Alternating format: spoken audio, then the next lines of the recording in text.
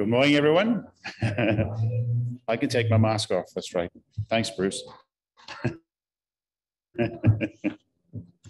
well, we're uh, small in number this morning. Um, does anybody know to the contrary? Are we allowed to sing? They said in pubs and clubs we can't, but weddings we're allowed to sing and dance. So I guess the singing would be in the church. Nothing? Okay.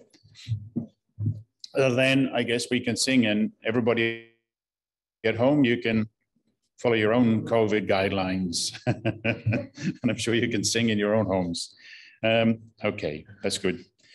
So Bruce will be continuing the series in the shorter catechism this morning. Um, questions 73 to 81. You've got a, a few questions to cover there, Bruce. So um, we look forward to that. Uh, but right now, I think we'll start off by singing, or if you're uncomfortable with that, hum. okay.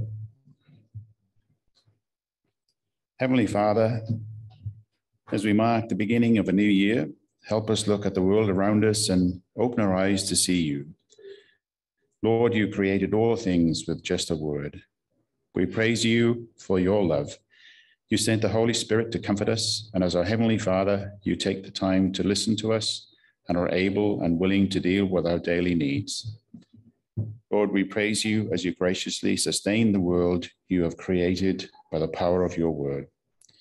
Yet we confess throughout the past week we have stumbled and we have said things we shouldn't done things we shouldn't, and even thought things that may have hurt others and offended you. We thank you for your forgiveness and abundant grace. Lord, you have set us free from all our fears.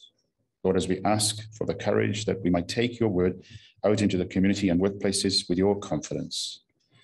Lord, we pray in the name of our King and Savior Jesus, who willingly gave his life for ours. Amen. In the roots and branches, we have a roots and branches that uh, Damien has put bef together before he went away. I think the announcements are mainly from last week, or maybe not. But there's some announcements in there anyway. COVID-19 rules are constantly changing. So we don't know what they are really, but we did sing. We are singing today. Maybe we won't next week. Um, the message for us is if we are feeling sick, please stay home. Um, or like I was last week, um, self isolating. And Ibrahim is today, I believe. I think Olga has contracted um, COVID. Uh, his message said. So hopefully, Ibrahim and Nadra are well and safe there. Um, and if you do contract it, hopefully it's the Omicron one, which seems to be better than a booster, so they say, and it's not too bad for your for your health.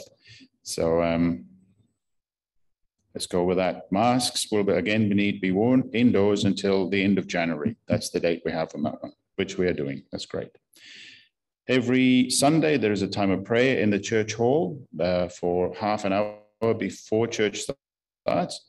Um, everyone is welcome between 8.45 and 9.15. Um, there's also a list out in the foyer that um, if you were prepared to volunteer for this year, um, please put your name down. Um, even if you're just thinking about it, put it down there and have a chat with Damien or, or somebody to, if you can help anywhere. Um, we're going to postpone the start of morning tea until the end of January as a precaution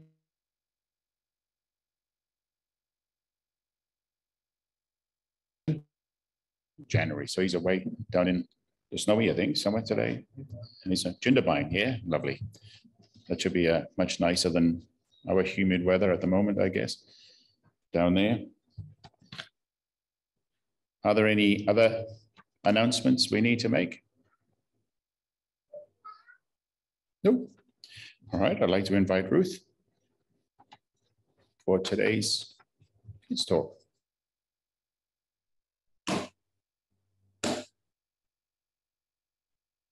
I've got some friends today.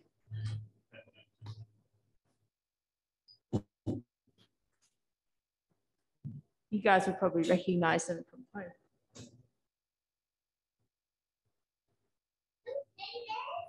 Yeah.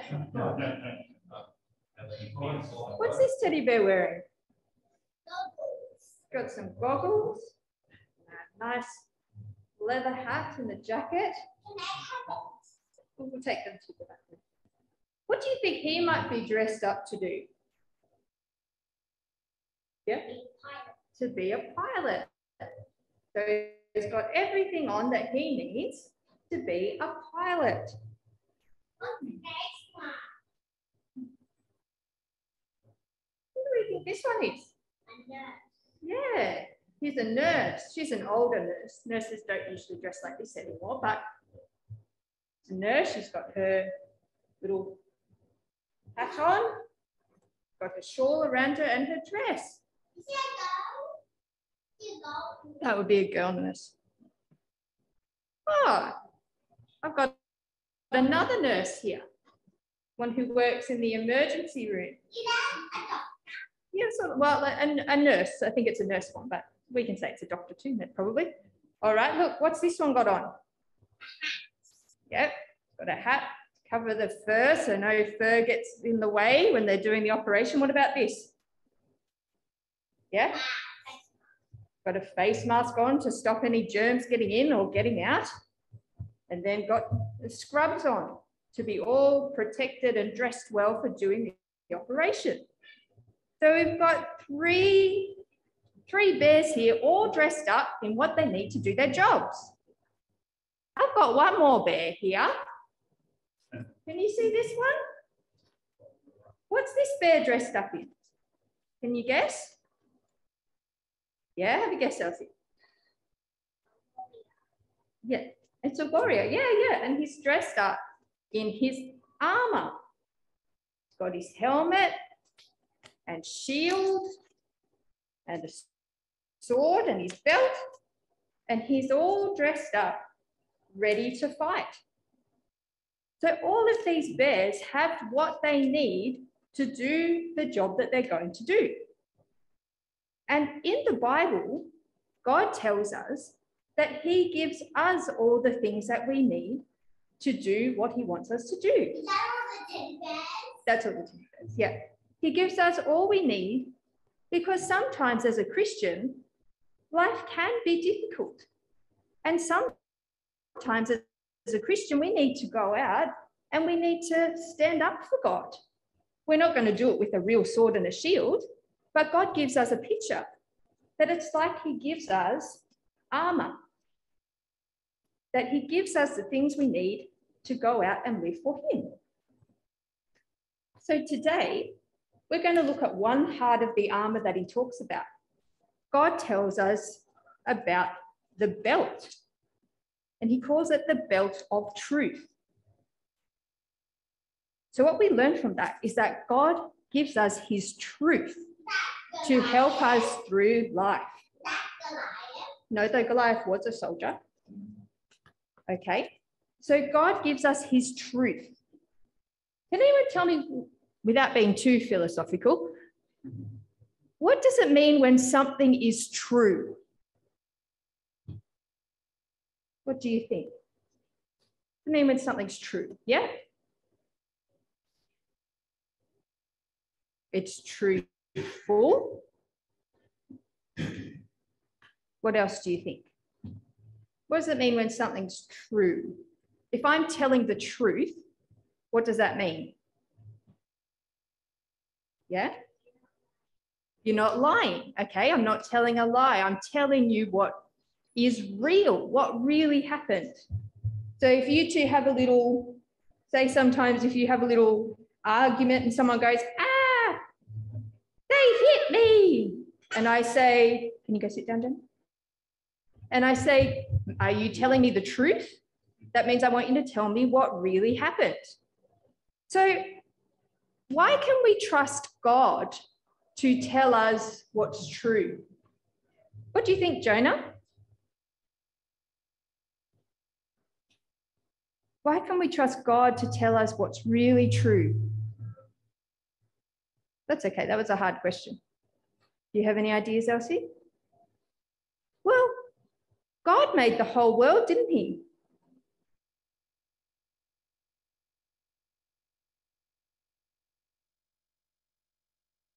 God, and he knows everything that has happened and that will happen. And we know that God is love and God is truth. So when God tells us something, we can trust him that it is true. So why do we need God's truth? Well, God tells us that when we know the truth, it will actually set us free. It can set us free from things like worry. If we think, oh, I'm lonely, things aren't going well, oh, well, God's truth tells us that God will never leave us, God will never forsake us. God's truth, if we feel lonely and like no one likes us, God's truth tells us that He knows us and loves us. And most importantly, God gives us the truth to set us free from sin and death. So some people might say, Oh, I can go to heaven because I'm a good person. Or if you believe in something, I can go to you can go to heaven. That will do. Just believe in anything. But God's word gives us the truth. Jesus says, I am the way, the truth, and the life.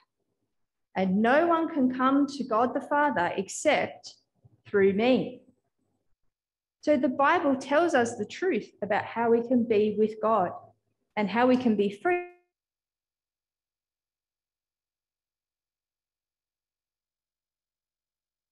Free from the door each day if we believe in Jesus, we have all that truth that God has told us to help us go and live our lives for Him. Let's pray. Dear God, thank you for your truth.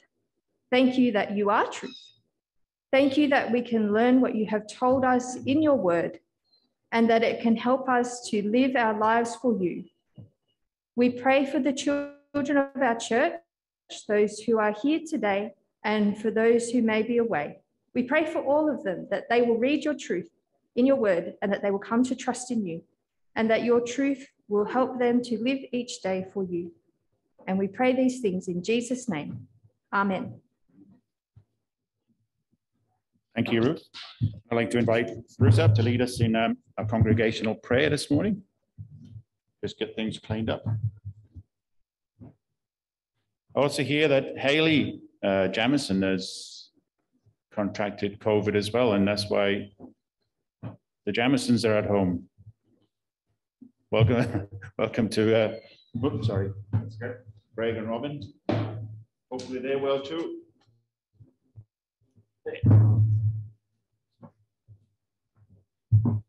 Yeah, good morning. Phone call from Robin this morning saying, pray for Haley and her family. That's uh, Greg and Robin's uh, daughter because she's come down with COVID. Um, and uh, and um, and Ibrahim uh, texted me this morning saying, uh, yeah, Olga is too. So that's why they're staying home because they have been in contact with her days ago, but you know, there's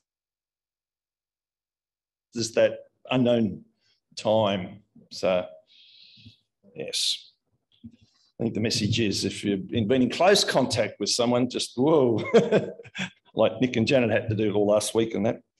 And uh, if you do have symptoms, go and get tested, isn't it? Okay, so congregational prayers. We've got the list here, apart from Olga and Haley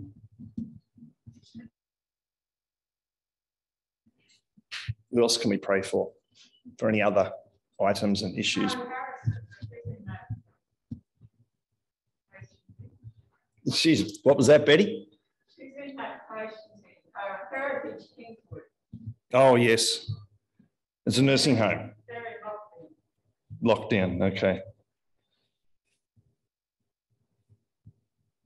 Okay, Mari Harrison, for those who know Mari, um, she's in lockdown in her nursing home, so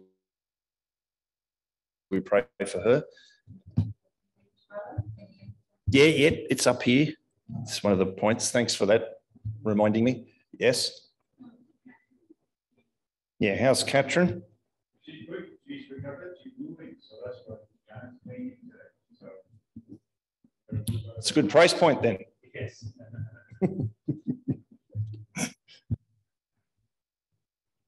Okay, let's come before our Lord with our prayers. Dear Heavenly Father, we pray for all those in our church family who are at this time suffering from sickness and or injury. There's many of us not here today. And um, that could be the reason for much of it. Plus also holiday time. And we pray for all those from our church who are out and about on holidays. You keep them safe on the roads and at the beaches and places like that, Lord, and, and bring them all home back here again. And um,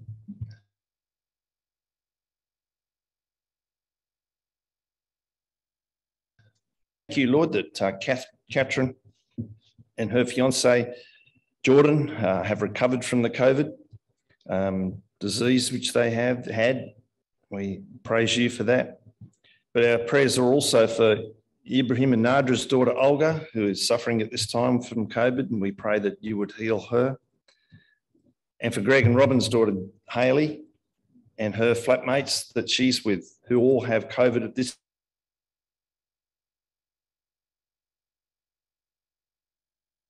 time. We also pray for comfort for Eddie and his family as his brother passed away this week. We pray, Lord, that you would, yeah, as it says, comfort them. We pray for Betty Asante as she also recovers from her shoulder injury, or surgery should be really. We also pray for the youth in our church that they would continue to be strengthened and, and grow in you, Lord.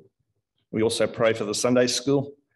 We know they're all on break at the moment, Lord, but um, we pray that next year, or this year, that you will send us more children to teach and to teach well your word. We also pray for Mari Harrison, an older member of our church who is in lockdown at this stage in her nursing home. We pray for that nursing home and its safety too, Lord. We pray for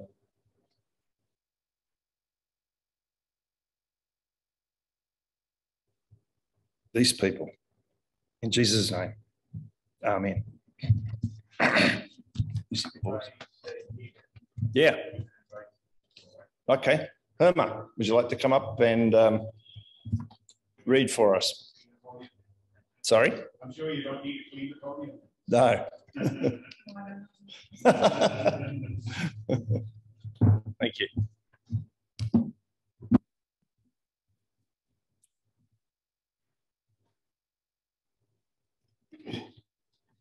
The reading this morning is from Genesis chapter 4, verses 1 to 9.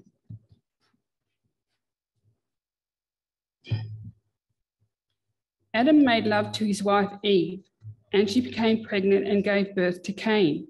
She said, With the help of the Lord, I have brought forth a man. Later, she gave birth to his brother Abel. Now, Abel kept flocks, and Cain worked the soil. In the course of time, Cain brought some of the fruits of the soil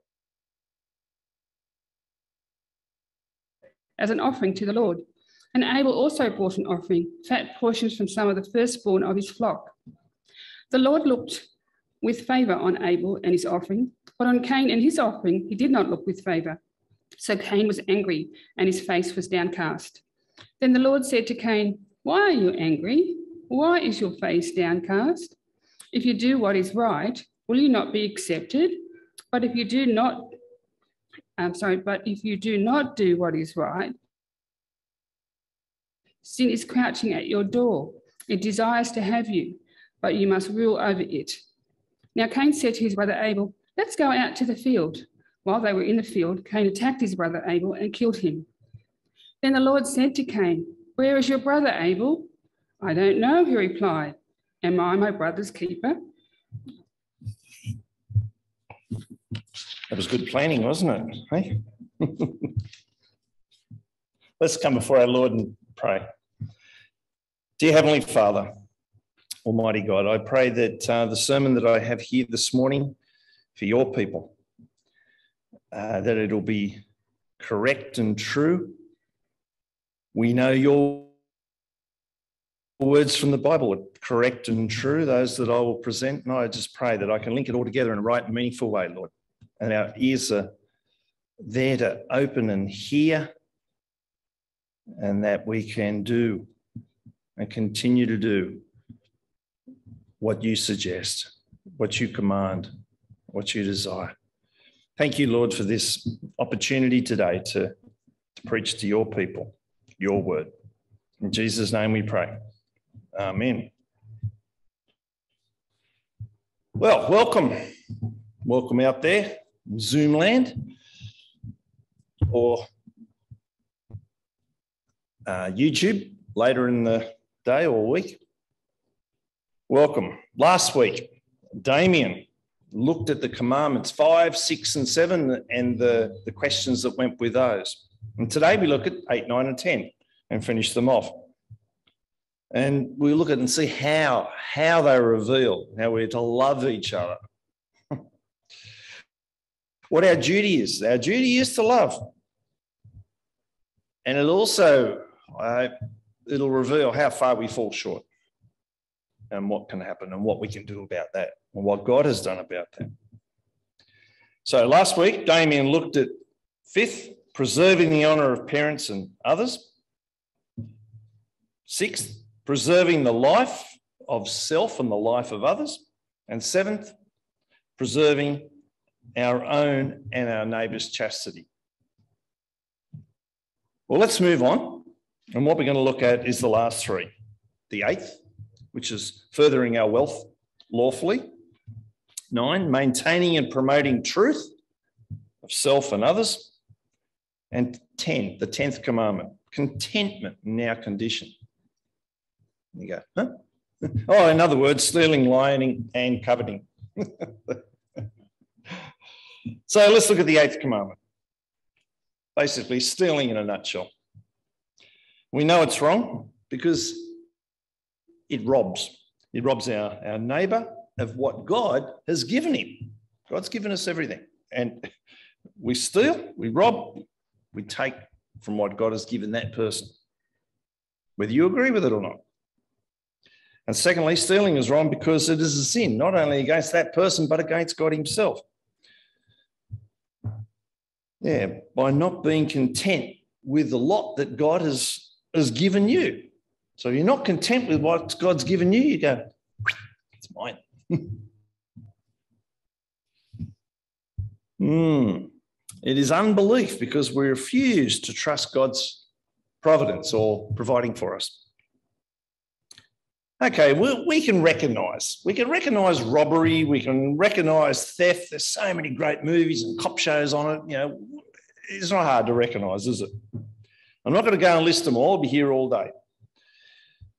But money and goods are stolen. You think, yeah, well, that's robbery. That's that's theft. And but, but there's plenty of others, isn't there? Just looking at a few things that we can steal. People, we can steal people. What? Slavery. That's stealing people. It's wrong. Property, we just went through. What about someone's reputation?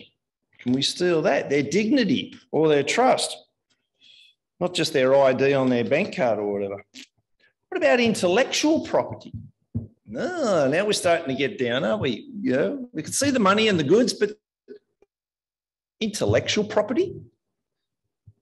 This form of theft includes anything from copying software or films, downloading music or movies that you haven't paid for, or stealing a person's words, plagiarism, in other words. Well, it is right and in, it is right, and it is important that if you are going to use a person's words, that you cite them, cite the source of where you got that from that, that idea or that quote. And if you don't, well, what are you doing? You're really stealing that quote or idea from that person who came up with it. And what you're saying By quoting something, by citing it, you're basically stating that you value truth over ego. Because if you don't cite it, then people think, oh, he's wise, he says that. but if you, st- you state it, you're just stating the truth, uh, citing it. So, by the way, that was a quote from the Bible Study studytools.com. That's where I got that idea from. Do you get the idea? Because if I didn't, you go, oh, yeah, Bruce has really thought about that. I read it. Uh, Martin Luther. See, here's another quote. Another, it's not me, it's Martin Luther. He says, if we look at mankind in all its conditions, it is nothing but a vast, wide stable full of great thieves. look around. No, sorry. yes, we all fail. We fail ourselves, we fail our neighbours, and of course, we fail God Himself. Well, everyone, everyone is guilty of this commandment because we rob God of the praise that He deserves. Whole sermons could be written on this, couldn't they? well, I'm going to move on to the next one. The ninth commandment about lying. I'm going to lead, read you a little bit out of Proverbs now. Okay. Proverbs 6, 16 to 19. There's two reasons why we give a, a memory, a, a, a verse, like where it's from. One, it shows that this is where I got it from. And two, if you want to go back and look at it later. Proverbs 6, 16 to 19. There are six things the Lord hates. Seven, they are detestable to him.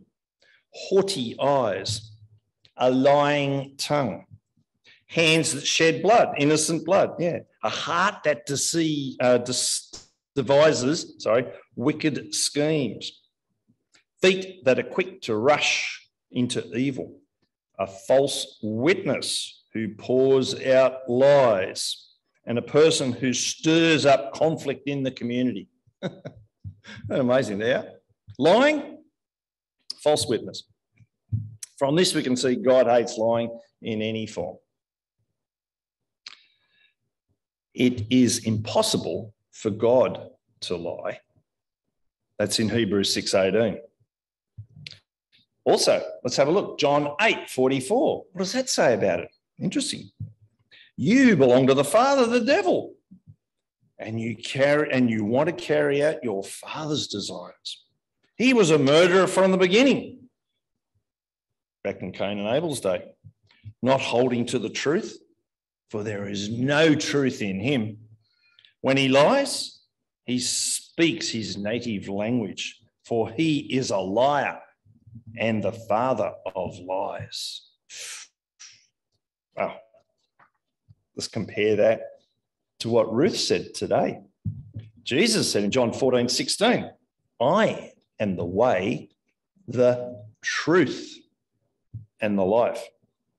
Big contrast, isn't there? When we lie, we behave more like the children of the devil than children of God. God says to the liar, this is found in Psalm 101 7, no one who practices deceit will dwell in my house. No one who speaks falsely will stand in my presence. Well, so we're out there and we are to promote truth. Matthew Henry, the old guy that wrote all those commentaries years ago, what he happens to say, he says, the commentator says about um, that the the the um, the commandment, the ninth commandment. This is what it forbids: speaking falsely in any matter, and in any way devising and designing to deceive our neighbour. Mm. Speaking unjustly against our neighbour to the prejudice of his reputation. See, I don't speak like that, but he does. That's why I quoted him. no, no slandering, and in any way, uh, in, uh, endeavoring to raise our own reputation upon the ruin of our neighbours. That's what Matthew Henry happened to say. And when you look at it, it's all about lying, isn't it? And what it does. That is to drag others down while we're building ourselves up falsely. Again, we all fall, fall short of that one. Which brings us to the 10th commandment not to covet anything of my neighbours. That is from all people, really, because Jesus gave us a parable on that. Who is my neighbour? Even the Samaritan. Coveting is idolatry. Where does it say that? Well, let's look again. The book of Colossians, verse uh, chapter 3, verse 5 says, Put to death, therefore, whatever belongs, belongs to the earthly nature sexual immorality, impurity, lust, evil desires, and greed, which is idolatry. Straight out of the Bible. When you do study and you do write a sermon, you look at the Bible, yes, and you look at commentaries. The Zondervan Study Bible, what does it state about this? Because they, they say it in such a way that's just so, so right too. It says greed suggests a desire to have more. It has a much wider significance than its English equivalent, denoting a ruthless desire for and an intense seeking after material things. That's what being that's what coveting is. Included in, included in it is an entire disregard of the rights of others. This attitude is identified with idolatry because it puts self interest and earthly things in the place of God. Coveting, idolatry. Another website I found, harvest.org, states that coveting is a powerful and unestimated sin. Interesting, isn't it? It can cripple you spiritually and ultimately destroy you. Well, covetousness and greed often go hand in hand. You think, there any signs? Where, where can we pick up anything in the Bible on coveting? Well, how about for 30 pieces of silver? Judas betrayed Jesus. Need I say more? Well, let's look at Timothy, 1 Timothy chapter 6 to 10. But godliness with contentment is great gain. For we brought nothing into the world, and we take nothing out of it. But if we have food and clothing, we will be content with that. Those who want to get rich fall into temptation and a trap and a, and a trap and into many foolish and harmful desires that plunge people into ruin and destruction. This is all straight out of the Bible. For the love of money is a root of all kinds of evil. Some people eager for money have wandered from the faith and pierced themselves with many griefs. Straight from God's word. Need I say more? Coveting, not good for us, not good for our neighbours, nor does it bring any glory to God. And again, we've fallen there too, haven't we? You might be thinking, well, bad people go to hell, don't they? Only those bad ones, you know? Those that murder, you know, like Hitler or Bin Laden or Martin Bryant or, or one of those who murdered the 400 people in Australia each year. You read about 400 people in Australia each year are murdered. Yes, that's how many. Only those sorts of people. They're, they're, they're the ones that would be going to, to, to wouldn't get to heaven. And compared to those people, hey, you're pretty good, aren't you? But whose standard matters here? Community standards, your standard? Yeah. Whose standard matters? How about God's standard? The maker of the universe, the sustainer of life, the one we owe our existence to. His standard is the one that matters. Let's just have a look at some of the Ten Commandments um, and see how we stack up. Now, we've just been through three, and I'm sure you're thinking, yeah, don't stack up too well there. Well, let's have a look. I'm going to ask you a few questions. You don't have to answer them verbally, in your head's fine. Have you ever told a lie? I can see some nodding out there. Well, who hasn't? Well, well, that makes you a liar, doesn't it? It's a bit harsh.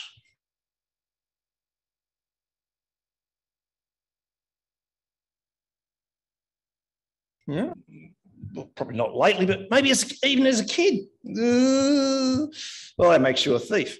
And you're going, hang on, hang on. I don't make that as a living. Well, how many murders does it take for someone to be called a, murder, a murderer? is that right? You murder one person, you're labeled as a murderer.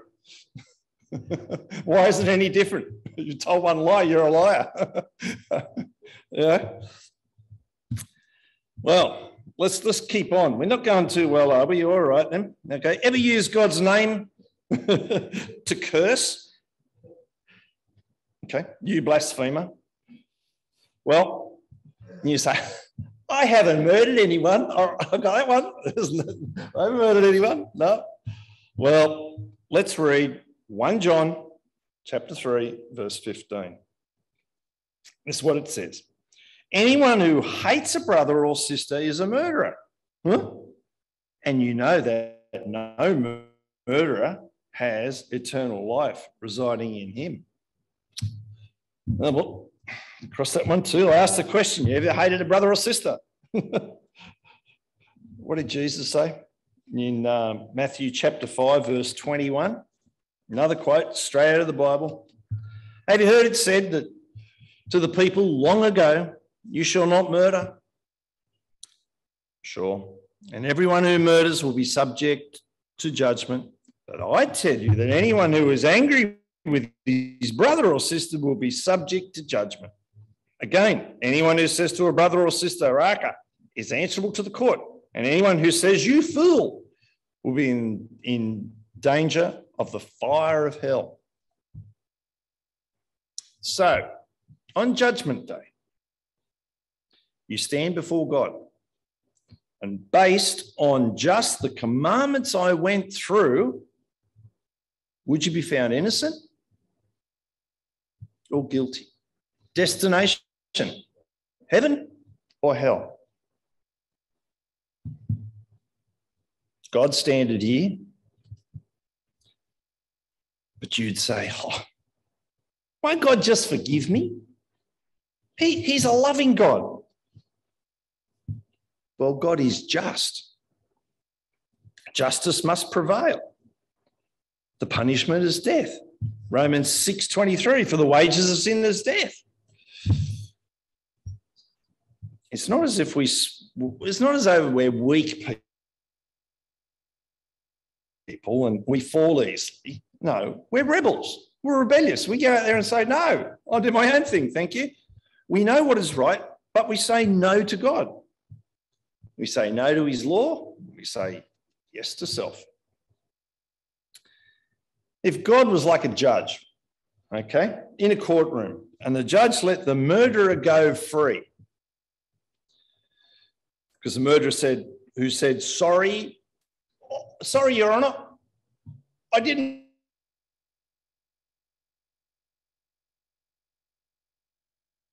you can imagine, imagine, try that in court and see what happens.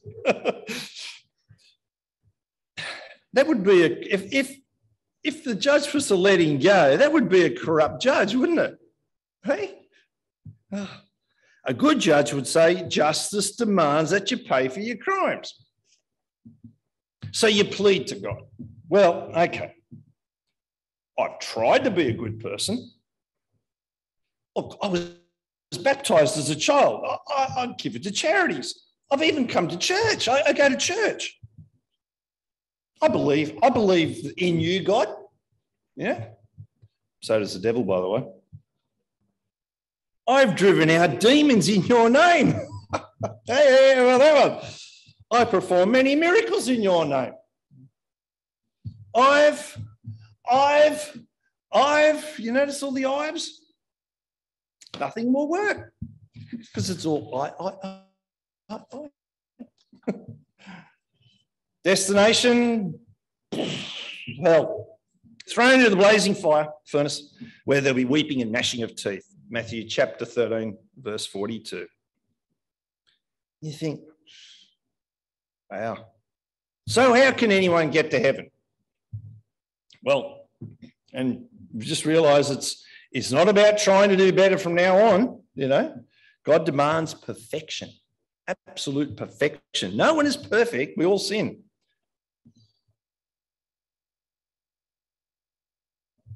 But there is only, and there is only one way. If a sinless person offered to take your punishment, mm, then justice would be served and you could go free. And that person was the Son of God, Jesus. He took your punishment and he died. And he died on the cross. Now, if he did that for you, how much punishment is left for you to take? Nothing. He took 100% of your punishment. So if he did that to you, where would you go when you die? Heaven. 100% assured you will. Not 90%. Think, oh, I hope so. No, 100%, because Jesus took 100% of your punishment. He didn't take 90%, and you've got to work the rest of the 10%.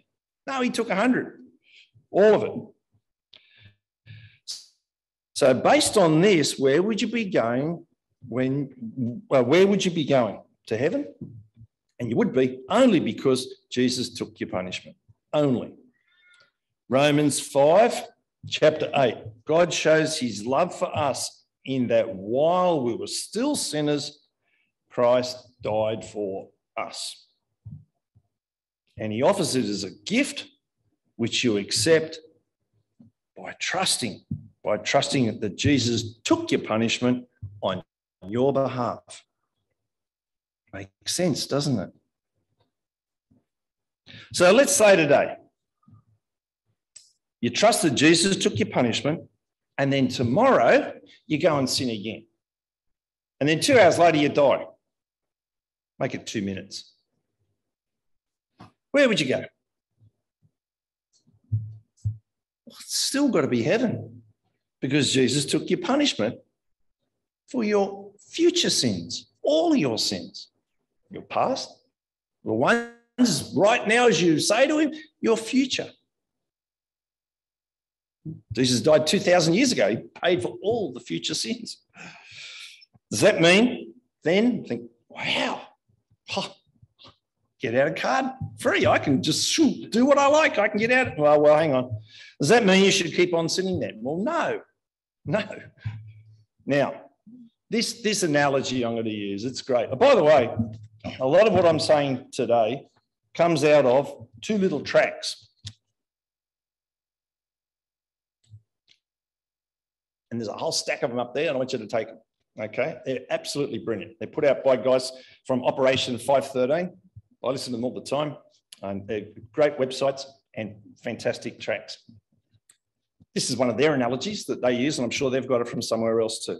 It says, this is it. Imagine you get caught in a burning fire building. It's on fire. You're overcome with smoke, you're blinded, you're coughing, ah, and there's no way out. Doesn't look good for you, does it? No. Then a fireman comes in, grabs you by the scruff of the neck, and drags you out. What would your reaction be? To slander him? No. Tell all the others, oh, I got out of there pretty good, didn't I? Aren't pretty good, eh? Yeah. no. You would thank him. And then you'd go and tell everybody else, wouldn't you? So, you know, on TV last night, see that fire? That was me in there. The fireman came and rescued me. How good was that? The fireman rescued me. You'd want to go and share it to all your friends, wouldn't you? It's exactly the same. Yeah. You'd praise him. And yeah, it should be like that with knowing God. Knowing that, you know, knowing that that um, that Jesus suffered and died for your sin. Do you really want to continue in it? No. It's like running back into the fire again, isn't it? no. No way. Not after realizing what he has done for you. In fact, out of gratitude, I now want to live my life the way he wants me to. And Jesus also conquered death and, and of course, and by raising, and he was raised back to life on the third day. So to recap, how do you get this forgiveness? Oh, you can you can't earn it. It's not by doing good deeds, going to church, praying, or, or just trying your best. We saw your best isn't the best when we looked at those commandments earlier on. But instead, it's a free gift. You must trust Jesus' death on the cross, and it's the only way all our sins are forgiven. Not Jesus plus good works and doing good stuff, or Jesus plus uh, got to do the sacraments. No. If you're a Christian, you already know this. It's like preaching to the converted. You already know this. And know that you've been in, adopted into his family as sons and daughters, and, and you live with Jesus as your ruler you know, and as saved people. You delight in keeping his word and, and doing his will and doing the will of the Father and, Father and sharing in that message. And it all, all just brings honor and glory to Him. That's why we do the Ten Commandments. They show us how far we fall short. God has done something about it. We put our trust in Him. Jesus' death on the cross, we're saved, and we have a different life. We do the Ten Commandments because that's what God wants. Won't save us, that's already been done. All right. But, but if you realize that you have been going wrong and instead you accept God's free gift of forgiveness and eternal life, well, you must trust then that, that Jesus' death on the cross is the only, only, only, only reason for your sins that your sins are forgiven. He paid the price, the penalty, the death. This will then cause you to repent because turning from sin is what is the right thing to do. You don't try to be really good and hope that God will accept you. That's not repentance. You don't clean up to take a bath, do you? Who cleans up before they have a bath? you have your bath and get cleaned. Well, next week, Ibrahim will preach, Greg will preach, and then Nick. And I'm not quite sure about what you're doing, Nick, but the others will definitely be going through some of these terms and going through this sort of thing again. And as I mentioned earlier, there are two tracts out the back. Please take them, reread them, and as you read them, you think, hey, Bruce just said this. it's where I got a lot of this from. Okay. This is this is where, oh, of course, then that comes from the Bible. I'm not making it up, and they're not making it up.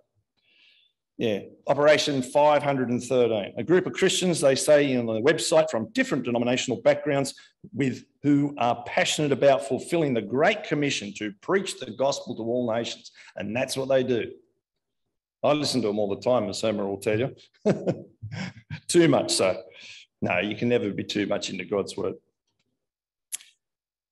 So you think, hang on, Bruce, where were these these um, questions and answers you were supposed to go through? well, hopefully, those questions and answers were wrapped up there together. They did get answered, but not one by one. So thanks very much. And let's just come before our Lord and pray. Dear Heavenly Father, we thank you that you have given us the commandments, those 10 commandments. Lord, they do show us how far we fall short. We thank you, Lord, that you also have, have given us that wonderful gift, that free gift through Jesus Christ, our faith in Him, that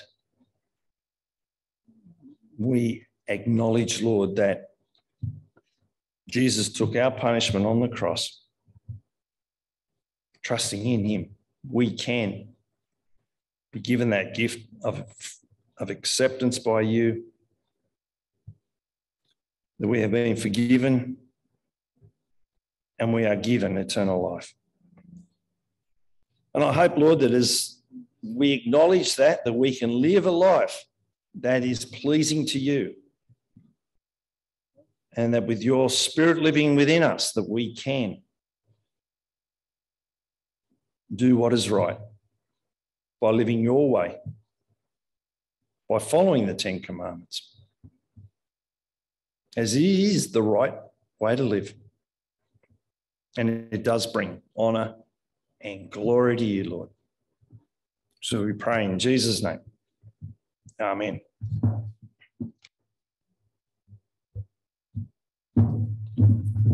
Thanks, Bruce. I'm going to have to add a few more references to my sermon.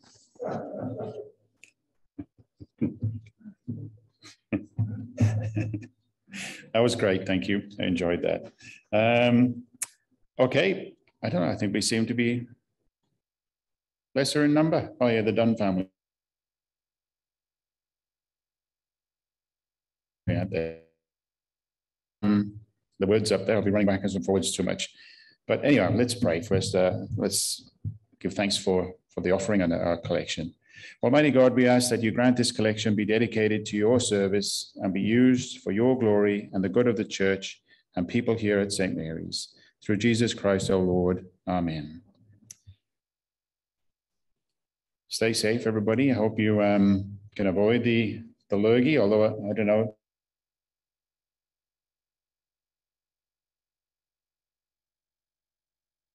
nicer one, not better one. uh, let's say the grace together. May the grace of our Lord Jesus Christ, the love of God, and the Holy Spirit be with us all evermore. Amen. Thank you. Have a good week.